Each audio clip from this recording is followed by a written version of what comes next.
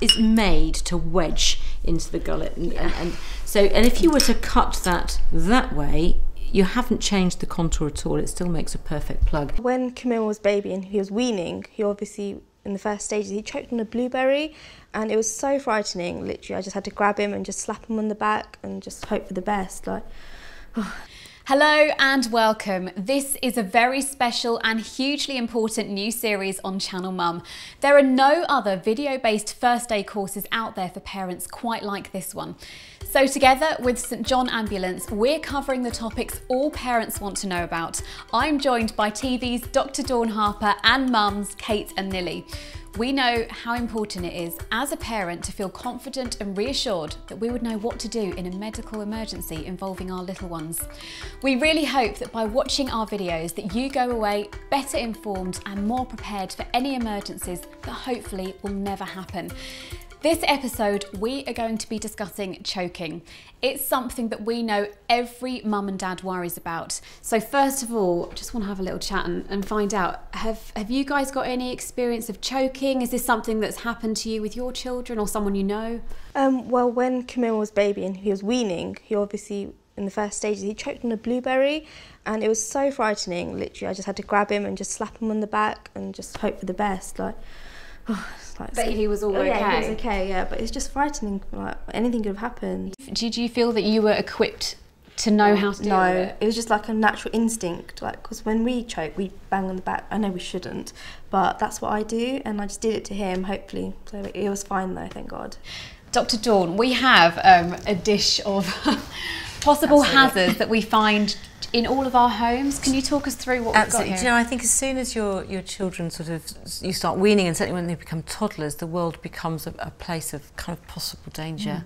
Mm. Uh, and all the things that we take for granted as completely safe and part of a normal diet, some of them uh, can be a real worry.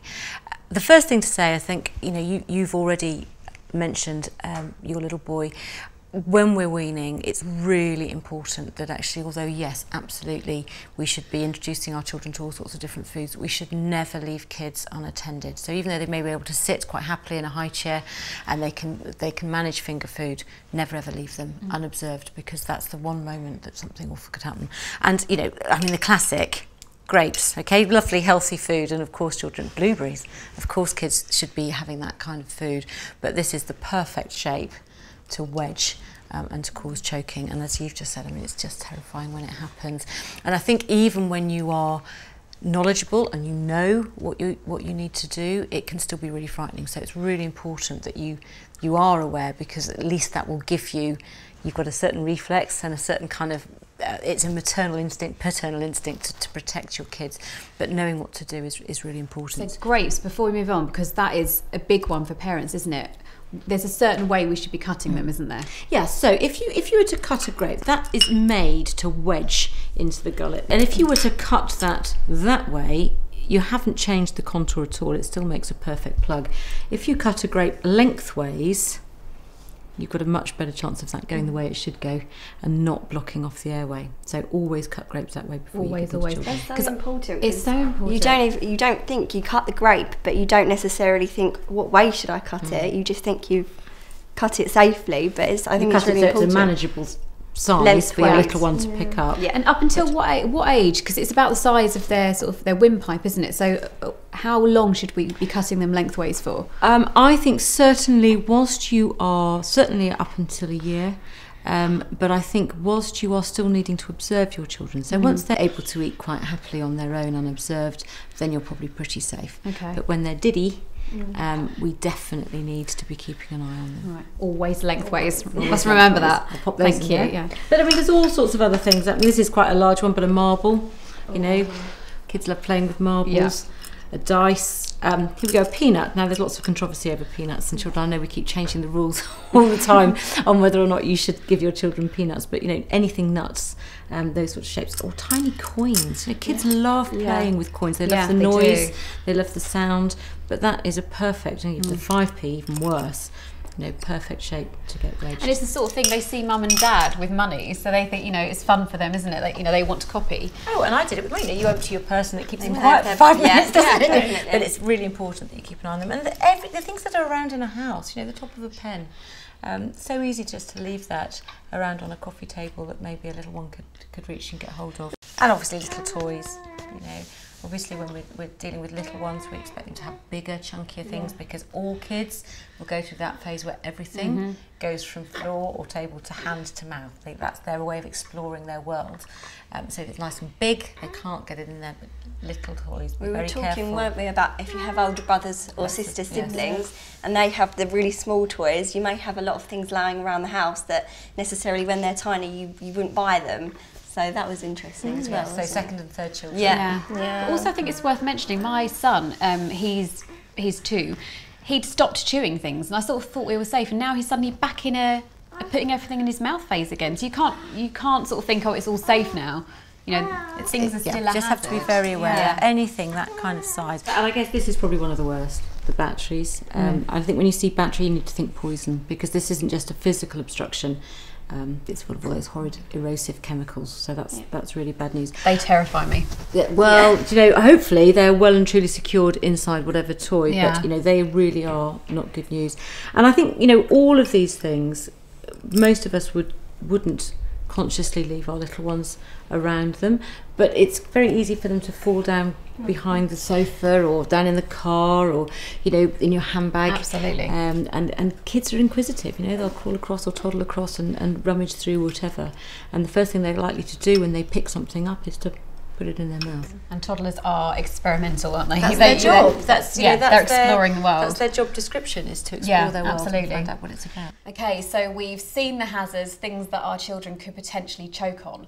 Um, now, should we actually see what we should do in the instance of choking? Because that's why we're making this video here today. Now, Dr. Dawn has brought along a Resusci baby My doll. own little baby. Yeah. So, Dawn, you're going to show us what to do in the event of choking. Okay, aren't well, so the first thing is, is to recognise what's going on. Um, and, and the baby that's choking may well be reaching a little bit. There's something stuck there. They can't breathe. They might be spluttering a little.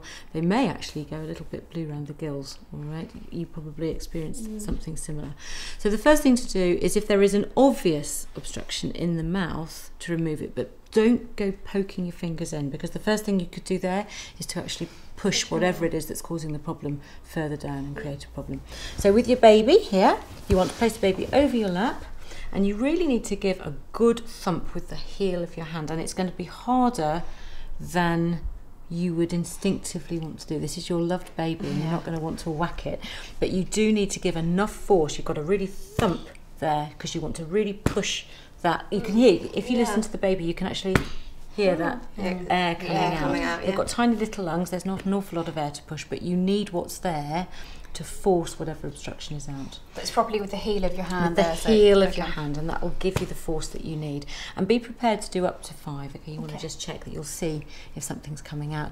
You'll also get a good cry once you've got the Yeah. once you've got the, um, the whatever it is dislodged. If that doesn't work, you need to turn your baby over, and you're looking to.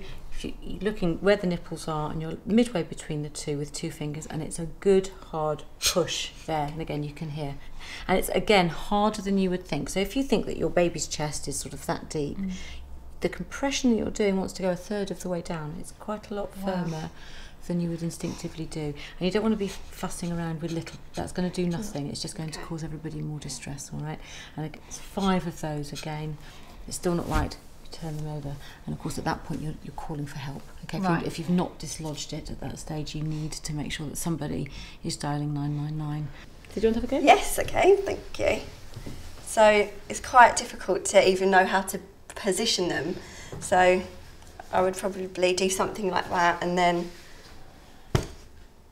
Okay, so that's the right the right force and, and Yep. the right area. But what you want to try and do is to make sure that the head is slightly tipped down. okay. Um, just thinking about that logically, that's just gravity on Yeah. your side. Okay, so as soon as it's dislodged, it's going to go the way you want, not come back in. Okay.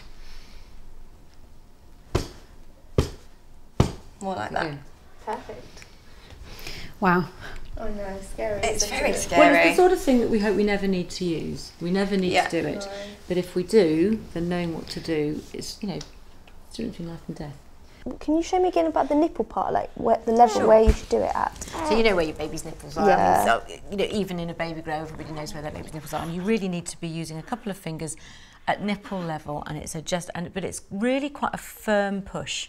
It's a, a firm push, okay. And if you think you've then got something dislodged, you want to turn your baby over so they can spit Can I that have a out. go? Right, so I guess support their head. Supporting them, Right, so sort of nipples be around here, sort of so. And that's about the right force. It's, it's probably hard. quite a bit stronger than you would expect, isn't Yeah, it? it's really hard. That is. That's good to know though, because as you say, you know, you, you're so delicate with your children, but in this in this emergency situation, you need to It's a really use some force. Okay, so that is um, how to deal with a choking baby. We really hope this has been helpful.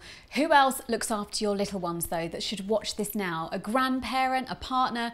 What about friends with little ones? Please share this video now to save a life.